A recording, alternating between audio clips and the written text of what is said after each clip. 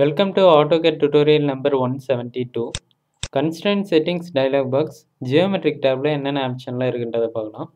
Okay first constant settings dialogue box எப்படி access பண்ணலாம் அப்படின்னா கமெண்டில் கன்ஸ்டன்ட் செட்டிங்ஸ் அப்படின்ட்டு டைப் பண்ணிட்டு என்டர் கொடுக்கலாம். அப்படி இல்லை ஜியோமெட்ரிக் கன்ஸ்டன்ட் உள்ள ஸோ இந்த சிம்பிளை வந்து கிளிக் பண்ணலாம். அப்படி இல்லை ரிப்பனில் ஜியோமெட்ரிக் ஆர் டைமென்ஷனல் செக்ஷனில் ஸோ ஒரு ஏரோ சிம்பிள் இருக்குது இதை கிளிக் பண்ணாலும் நமக்கு வந்து ஓப்பன் ஆகும். ஆர் மெனுபரில் பேராமெட்ரிக்கில் போயிட்டு கன்ஸ்டன்ட் செட்டிங்ஸ் அப்படின்ட்டு கொடுக்கலாம். ஓகே ஃபஸ்ட்டு ஜியோமெட்ரிக் டேப் பற்றி பார்க்கலாம். ஸோ இந்த ஜியோமெட்ரிக் டேப் எதுக்கு யூஸ் ஆகுது அப்படின்னா ஜியோமெட்ரிக் கன்ஸ்ட்ரெயினோட செட்டிங்ஸ் வந்து கண்ட்ரோல் பண்ணுறதுக்கு தான் யூஸ் ஆகுது. ஓகே ஃபஸ்ட்டு வந்து பார்த்தீங்கன்னா இன்ஃபர் கன்ஸ்டெயின் அப்படின்னா ஒன்றும் இல்லை. இன்ஃபர் கன்ஸ்டெயின்னு கொடுக்கும்போது பார்த்தீங்கன்னா இங்கே ஸ்டேட்டஸ் பாரில் இன்ஃபர் கன்ஸ்டெயின் ஒன்று இருக்குது ஸோ இது வந்து பார்த்தீங்கன்னா டர்ன் ஆன் ஆகிடும் இது டர்ன் ஆன் ஆகிறதால பார்த்தீங்கன்னா நம்ம ஆப்ஜெக்ட் க்ரியேட் பண்ணும்போதே கன்ஸ்டெயின் வந்து பார்த்தீங்கன்னா அப்ளை ஆகிடும் ஓகே ஃபஸ்ட்டு இது வந்து அன்செக் பண்ணிவிட்டு நான் வந்து ட்ராப் பண்ணுறேன் ரெக்டாங்குலர் ட்ராப் பண்ணுறேன் ஸோ இதில் வந்து பார்த்தீங்கன்னா எந்த கன்ஸ்ட்ரெயினுமே நமக்கு வந்து அப்ளை ஆகலை.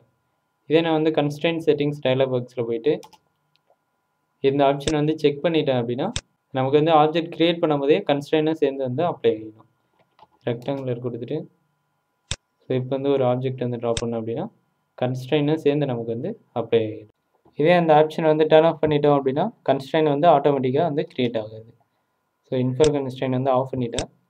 இப்போ போயிட்டு ஆப்ஜெக்ட் வந்து ட்ராப் பண்ணுறேன் அப்படின்னா கன்ஸ்ட்ரெயின் வந்து அப்ளை ஆகுது. ஸோ எந்த கன்ஸ்ட்ரெயினும் நமக்கு வந்து இல்லை. ஓகே கன்ஸ்ட்ரெயின் செட்டிங் போயிட்டு அடுத்த ஆப்ஷன் வந்து பார்த்திங்கன்னா டிஸ்பிளே செட்டிங் அப்படின்ட்டு ஒன்று இருக்குது ஸோ நம்ம எந்த கன்ஸ்ட்ரெயினில் நமக்கு வந்து விசிபிள் வேணாமோ அதை வந்து அன்செக் பண்ணிடலாம். ஓகே எக்ஸாம்பிள் இந்த ரெக்டாங்கலில் வந்து பார்த்திங்கன்னா பேரலல் கன்ஸ்ட்ரெயின் இருந்தது அண்ட் பர்பண்டிகுலர் கன்ஸ்ட்ரெயின் வந்து இருக்குது ஸோ இப்போ நான் வந்து பர்பண்டிகுலர் வந்து டர்ன் ஆஃப் பண்ணிடுறேன். இப்போ இந்த ரெக்டாங்குலரில் வந்து பார்த்திங்கன்னா பர்பண்டிகுலர் கன்ஸ்டன்ட் தவிர ரிமைனிங் எல்லா கன்ஸ்டன்ட்டும் நமக்கு வந்து தெரியும். ஸோ ரிமைனிங் பேரலல் மட்டும்தான் இருக்குது ஸோ அது மட்டும் நமக்கு வந்து தெரியுது. ஸோ இதே ஹரிசாண்டல் கொடுத்தோம்னா ஹரிசாண்டலும் தெரியும். வெர்டிக்கல் கொடுத்தோம்னா வெர்டிக்கலாக நமக்கு வந்து தெரியும். பட் ஆனால் பர்பண்டிகுலர் கன்ஸ்டன்ட் மட்டும் நமக்கு வந்து யூஸ்ஃபுல் ஆகுது ஓகே கன்ஸ்டன்ட் செட்டிங் போயிட்டு ஸோ பர்பண்டிகுலர் ஓகே கொடுத்துட்டோம்னா பர்பண்டிகுலர் கன்ஸ்டன்ட்னா நமக்கு வந்து யூஸ்ஃபுல் ஆகும். ஓகே அடுத்த ஆப்ஷன் வந்து பார்த்தீங்கன்னா only display constant bars for objects in the current plane அப்படின்ட்டு இருக்குது ஓகே நம்ம கரண்ட்டாக டாப் லைனில் இருக்கோம். டாப் லைனில் என்ன கன்ஸ்டன்ட் வந்து க்ரியேட் ஆகியிருக்கோ அது வந்து டாப் லைனில் இருந்தால் மட்டும்தான் தெரியும். இதே நம்ம வியூ வந்து சேஞ்ச் பண்ணுறோம் அப்படின்னா நமக்கு வந்து தெரியாது. எக்ஸாம்பிள் பேக் வியூக்கு போனோம்னா நமக்கு வந்து கன்ஸ்டன்ட் வந்து யூஸ்ஃபுல் ஆகாது. இங்கே க்ரியேட் பண்ணுற கன்ஸ்டன்ட்லாம் வந்து டாப் வியூவில் வந்து நமக்கு வந்து தெரியாது. அதாவது வேறு வியூவில் வந்து நமக்கு வந்து தெரியாது. எக்ஸாம்பிள் ஜிசி பேரலல் கொடுக்குறோம்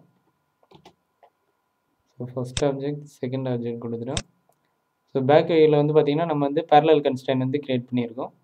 இது டாப் வியூக்கு போனோம்னா நமக்கு வந்து விசிபிள் ஆகாது. ஸோ ஜஸ்ட்டு லைன் மட்டும்தான் நமக்கு வந்து இருக்கும்.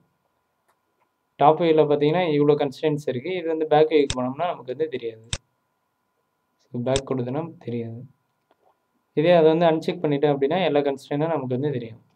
கன்சிடன்ட் செட்டிங்ஸ் டைலாக் பாக்ஸ் இதை அன்செக் பண்ணிட்டோம் அப்படின்னா எல்லா கன்ஸ்டன்ட்டுமே எந்த வியூவில் இருந்தாலும் நமக்கு வந்து தெரியும். ஓகே டாப் வியூ போயிடுறோம்.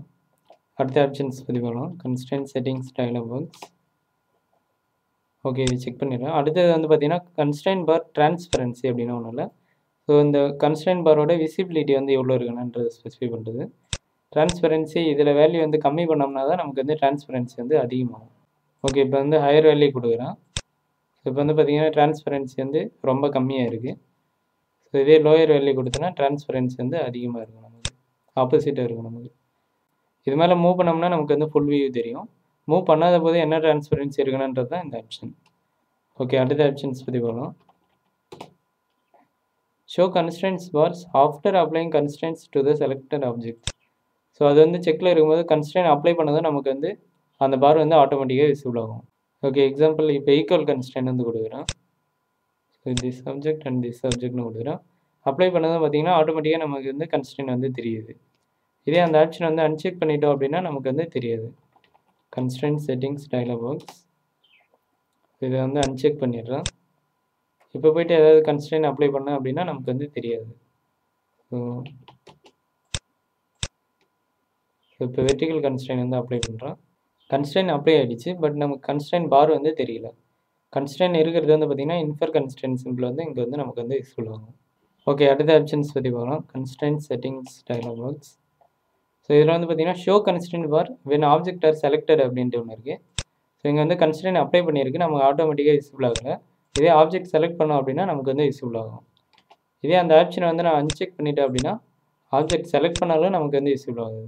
பட் ஆனால் கன்ஸ்டன்ட் வந்து இருக்குது இதுதான் அதோட மீனிங் ஓகே அடுத்த வீடியோவில் டைமென்ஷனல் டேப் பற்றி போகலாம் தேங்க்யூ ஃபார் வாட்சிங்